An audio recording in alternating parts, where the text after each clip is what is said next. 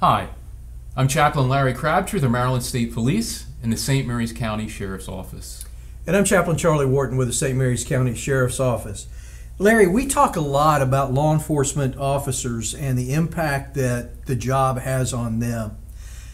We would be neglectful if we didn't talk about families because this is something that is a huge part of the police culture.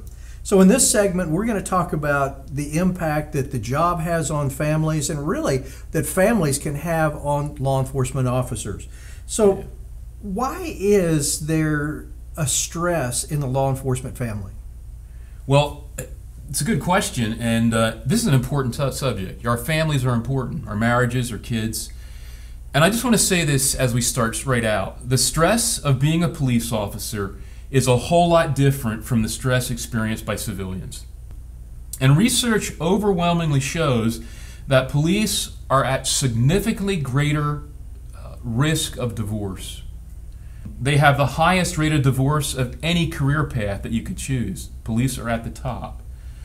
And officers, I think, have to acknowledge the stress and they have to recognize how important their personal relationships, especially in their marriage and with their family, how much how important that really is. And to do something about it. We have to be intentional and proactive because of the reality of what it is that we're facing. You know, a lot of people, when they look at a law enforcement officer, they believe that um, when they come in, they take the uniform off, they throw it in the washer, and all of a sudden they become human again. And that really is not that's not the case because there's a lot of there's a lot of yuck, there's a lot of baggage that comes with it that you can't just park it, you know, in the patrol car. Um, what does that have? What kind of an impact does that have in the family? Well, well, the, the realities are things like this. I mean, it's again shift work and long hours. Do you know how difficult it is often for a police officer to get time off for family events?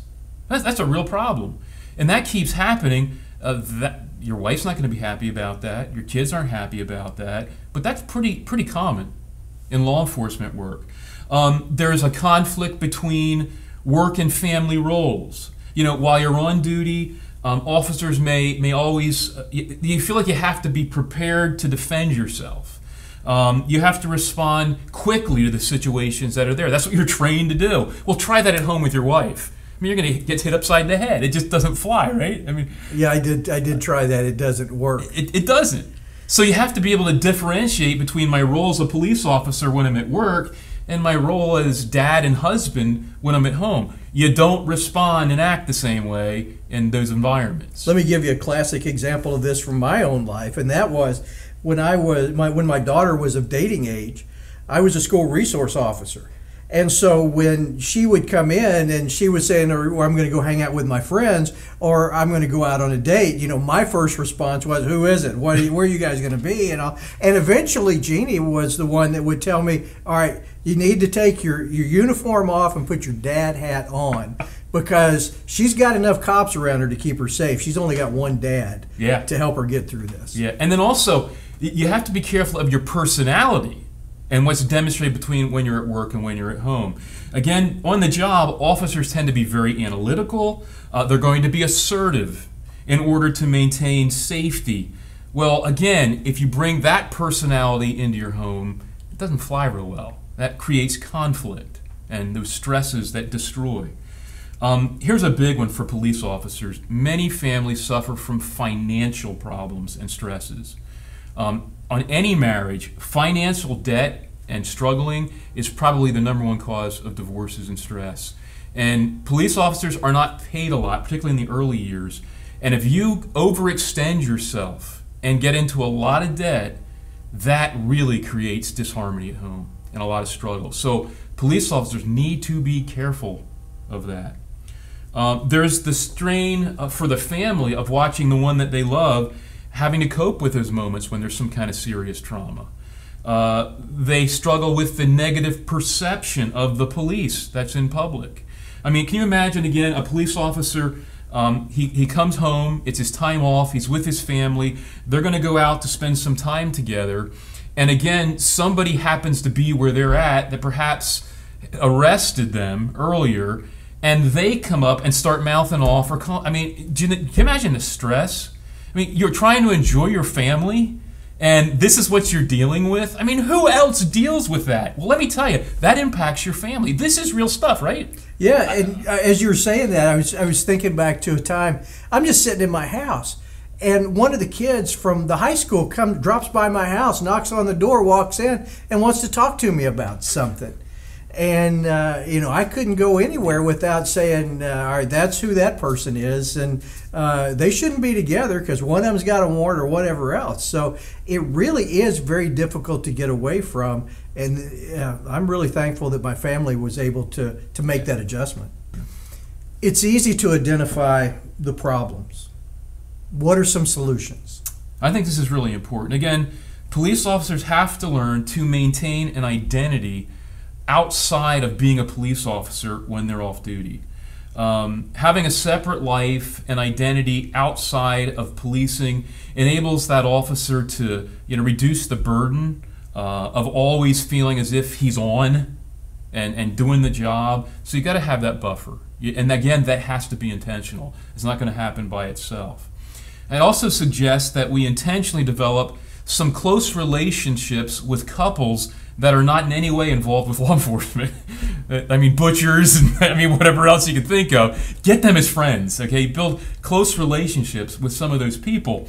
And it's going to do two things. One, they're going to benefit from your perspective as a law enforcement officer on dealing with, you know, just tensions and conflicts of life. But you as a police officer get to learn, hey, there's other ways to deal with problems than the police way. And so that's a really beneficial relationship. I highly recommend that take place. Uh, that's often not the case in law enforcement. I think police officers need to learn and live again within their financial means. If you're struggling financially, pick up some. I mean, there's all kinds of series out there. Dave Ramsey, I mean, is excellent. Just how to get your debt and budget in control because you do not need, you've got enough stress in your life. You don't need financial stress messing with you and your family. That's really important. And uh, in my 26 years as a chaplain, again, I have learned that, that law enforcement can often carry as much as 500 hours or more in vacation time. and I don't know what it is, they love to pack it up. Well, listen, take some vacation blow some of those hours. It's perfectly normal and your family needs it. So stop the 500 hour vacation package that's sticking there and start burning that stuff for what they're intended for so you can have a relationship with your family and get away from this stress and job and you can have that identity outside of law enforcement. You say this and it caused me to, to chuckle because I look back on one of my one of the most special days in my law enforcement career was when I got a sticker on my timesheet that said, You have use it or lose it time. At that point, I knew that I had made it. What other profession? And you're not going to give back vacation time if you're a butcher, a baker, a candlestick maker, or whoever else. You know, we, we need to overcome that. And so, anyway. Yeah. I think we start. I think I went to preaching right there. So. This and one final thing I think is helpful is whenever I do marriage counseling and pre-marriage counseling, there's a little exercise that I tell people they need to have in their life. I call it the practice of two chairs. And studies show that if a husband and wife can actually sit down and focus on each other for 10 minutes every day, you'll have a good marriage. But you don't want just a good marriage, right? You want an excellent marriage. You want a great marriage. And you know, if you can sit down together and talk as a couple for 20 minutes each day, you're going to have a great marriage. Statistically, it shows that out, it proves it. And what I'm talking about is find a place in your house, it's two chairs that's yours. The kids aren't there to bother you. You're not going to worry about them unless they are broken, bruised, or bleeding. I mean, other than that, they can learn hey, this is mom and dad time. And you use that time just to talk about each other and what's going on. Don't, don't deal with the problems of the day, just talk. And if you can do that for 10 minutes a day, you got a good marriage. 20 minutes, you have a great marriage. One of the best practices a law enforcement officer could do. It's in every one of my marriage counseling sessions. It's an important principle. So now I need to go buy home, go home and buy two chairs. I would suggest it. Okay. If you don't have to already, that's a problem. Apparently, you need the financial lessons. well, Charlie, it's time to say goodbye for this week. And so, our wish to you again is be strong and be safe.